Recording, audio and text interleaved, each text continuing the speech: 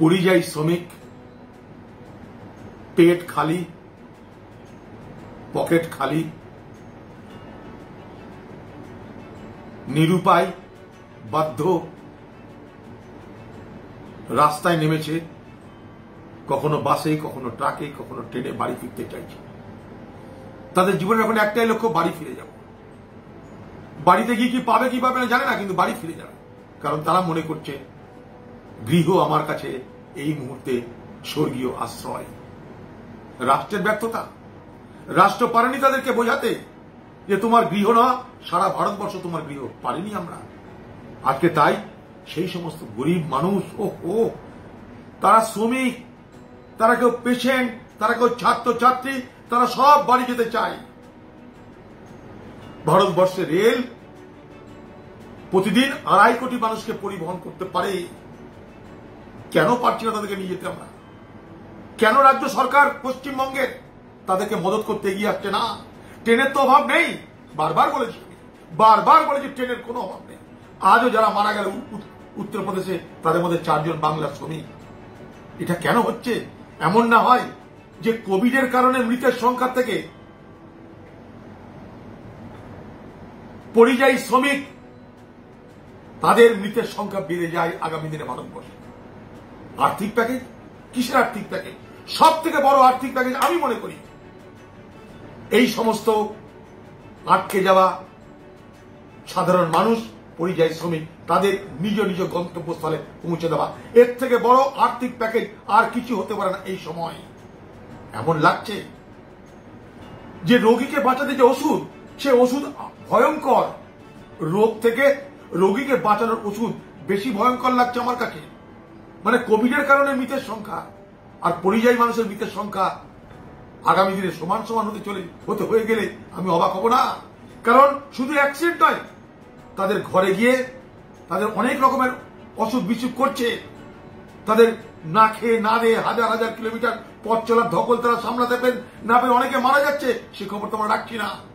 তাই বাংলার তৃণমূল সরকারকে, বাংলার মুখ্যমন্ত্রী মমতা ব্যানার্জিকে, আপনি দেখছেন সারা ভারতবর্ষ জুড়ে কি হচ্ছে। পশ্চিমবঙ্গের শ্রমিকদেরও একই অবস্থা। ভারতবর্ষের চল্লিশ থেকে পঞ্চাশ লাখ পশ্চিমবঙ্গের পরিযায়ী মানুষ আছে। আপনি তাদের জন্য এক মাসের জন্য একশো পাঁচটা নিয়েছেন। কি হবে? হাতির পেটে এলাচির দানা। আপনাকে ভারত সরকারের কাছ থেকে যত ট্রেন লাগে আদায় করে দেওয়ার দায়িত্ব আমার। আমি অনেক আগে বলেছি, পীযূষ গোয়েল বলার আগেও বলেছি, আজও বলছি, আপনি রাজি হন। খালি বলুন, যারা ট্রেনে উঠবে, তাদের করোনা পরীক্ষা করে দেখে না হোক নেগেটিভ আছে। আপনি নামিয়ে নিন। আপনার রাজ্যের মানুষ তারা, আপনাকে ভোট দিচ্ছে তারা। কোন বাহানায় তাদেরকে আপনি নেবনের কথা বলতে পারেন না। আর আপনার এই পরিকল্পনাহীনতার জন্য মানুষ লুকিয়ে চুরিয়ে আপনার রাজ্যে প্রবেশ করছে, তাতে করোনার বিপদ বাড়ছে। আপনি ভুল করছেন বাংলার মুখ্যমন্ত্রী মমতা ব্যানার্জি। ট্রেনে করে নিয়ে আসলে আপনার চোখের সামনে সবকিছু হবে।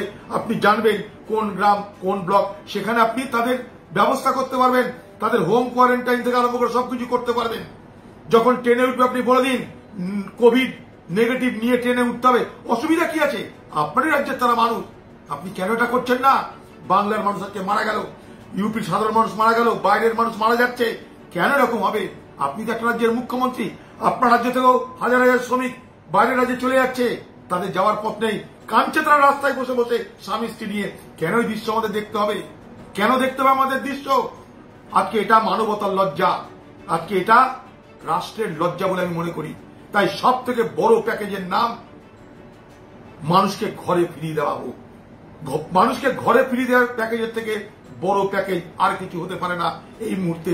আমি সেই মর্মে কেন্দ্র সরকারকে বলব আপনাকে বলছি, সবাই মিলে এই সাধারণ মানুষকে বাঁচান। আজকে যে লক্ষ লক্ষ কোটি টাকার গল্প হচ্ছে প্যাকেজের এই লক্ষ লক্ষ কোটি টাকার প্যাকেজ এই সমস্ত শ্রমিকদের মাথার ঘাম পায়ে ফেলে রোজগার করতে হয়। আপনার রাজ্যে আপনি যে বড় বড় বাজেট করেন, সেখানেও এই সমস্ত সাধারণ মানুষের মাথার ঘাম পায়ে ফেলা রোজগার আছে। আপনি সবকিছু অস্বীকার করতে পারেন না, মমতা ব্যানার্জি। সময় এসেছে। বারবার করে আপনাদেরকে বলছি, আপনি উদ্যোগী হন, প্রতিদিন দরকারে একশো ট্রেন নিন আপনি, সবাইকে ফিরে নিয়ে আসুন। তাদেরকে শুধু বলে দিন, ট্রেনে ওঠার আগে তোমাদের covid negative, corona negative certificate উঠতে হবে। আপনি ফিরিয়ে নিন, দিদি। ফিরিয়ে নিন ফিরিয়ে নিন ফিরিয়ে নিন।